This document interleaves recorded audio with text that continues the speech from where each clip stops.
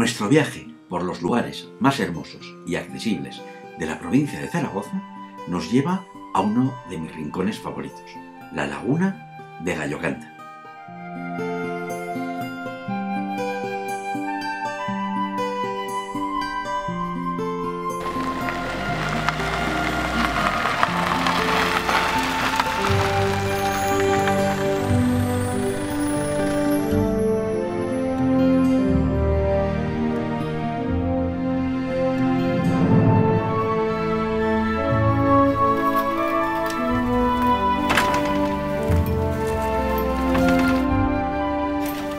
Muy buenos días. Hola, buenos días.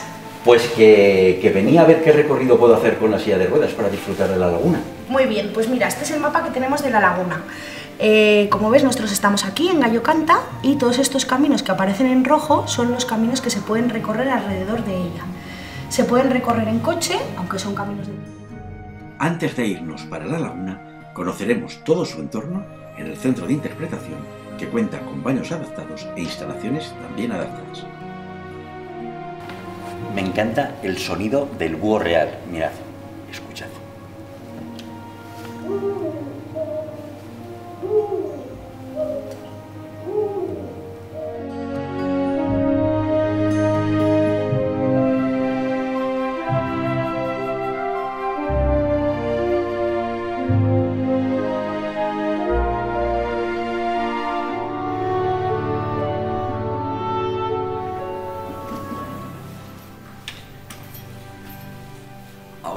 Vamos a ver una panorámica de la laguna realmente hermosa. Bueno, pues mira, Miguel, desde aquí arriba vamos a ver la panorámica de, de la laguna, Qué ¿vale? maravilla. Eh, lo que vemos desde aquí, principalmente toda esta parte de delante, justo enfrente del centro, es la cabecera de la laguna. Qué maravilla.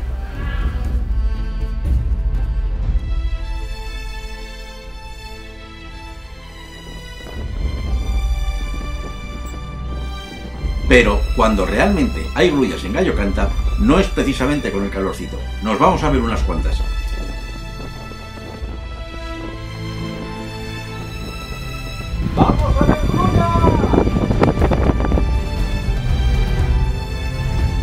Estamos en los terrenos de la Laguna de Gallo Canta con, Rosana, que ya la conocéis, que nos acompaña siempre que venimos por aquí, con Eva, que está al volante, y aquí un servidor que, que es el que más se divierte de todos. Vamos a disfrutar de la naturaleza, de las grullas y de esta maravilla natural que tenemos en la provincia de Zaragoza.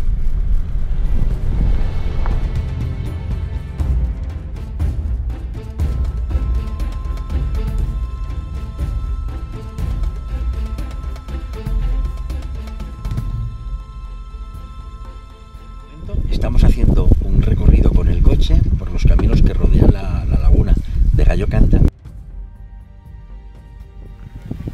Nos encontramos en la laguna de Gallo Canta, una de las mayores lagunas saladas de Europa y todo un referente ornitológico. Y estamos con Rosana, que sabe muchísimo de todo lo concerniente a la laguna y a su entorno. Rosana, ¿cuántas, cuántas grullas solemos tener a lo largo del año? Eh, otros años han pasado 100.000 grullas, eh, hay años que nos Guau. quedamos solamente en las 60.000. Lo que hacen aquí es descansar. Eh, cruzar los Pirineos les supone un gran esfuerzo físico, con lo cual necesitan recuperar fuerzas y cuando hacen el viaje hacia el norte, pues es lo mismo, vuelven a recuperar fuerzas para continuar su viaje hacia, hacia el norte.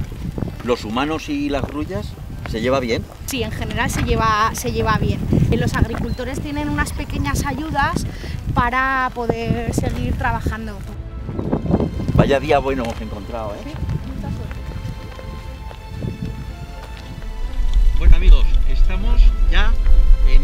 de la laguna de Gallo Canta y sigue siendo una maravilla, mirad.